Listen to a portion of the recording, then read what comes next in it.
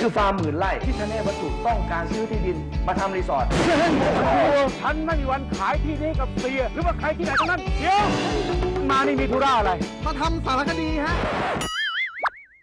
ที่พวกคุณจะเข้ามาถ่ายทำอะไรกันที่นี่ฉันก็ต้องศึกษาหนิงเขาก่อน ในฐานะที่เขาเป็นผู้จัดการฟาร์มของนี่ผมวิทย์ครับโหนมครับดีค่ะผู้ชายอะไรที่ดี